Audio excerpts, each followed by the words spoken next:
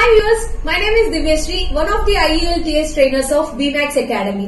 Today I would like to talk about an eminent program which Bemax launched long back. It is LEP, Language Enhancement Program.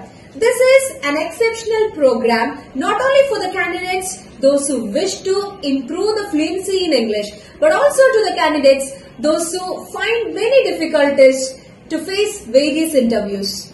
So this LEP commences with the basic knowledge of grammar followed by the application of this grammar in speaking. And finally, we assess them to improve their communication skills. So friends, those who have decided to develop your communication skills, do join Bemax Academy's LEP, which is not spoken English, it is Language Enhancement Program. Thank you.